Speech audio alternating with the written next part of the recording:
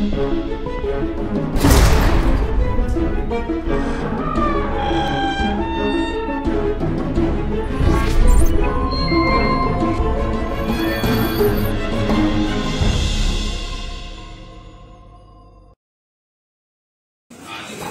ito po yung ating vibranium top box. Napakasimple ng design pero napaka-elegante po tignan. Ito yung design sa harap. Ayan. Ganda ng design nito guys. Ayan po yung sa gilid. Sa likuran may backrest na rin po.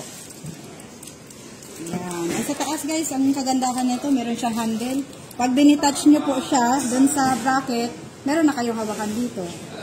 And ito po, uh, mukha lang siyang alloy pero hard plastic po yung material na gamit nito kaya mas lightweight siya compare sa alloy. And 45 liters po ito. Tignan natin yung design sa loob guys. Ayan, meron na siyang inner lining. Ayan, napakaganda. And sa, ito meron na siyang strap. Ayan po yung design niya sa loob. Meron na siya kasamang base plate and screws may extra reflectorized sticker and dalawang susi. Uh, SRP nito guys, uh, 4,500 and may discount pa po ito, 10%.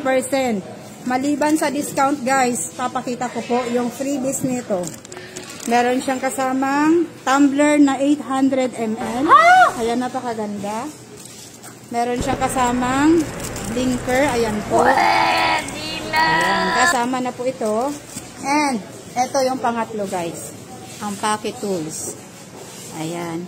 Yung freebies natin guys, until December lang po. Kaya avail na kayo guys habang kasama pa ito ngayon pag bumili kayo ng Vibranium Top Box.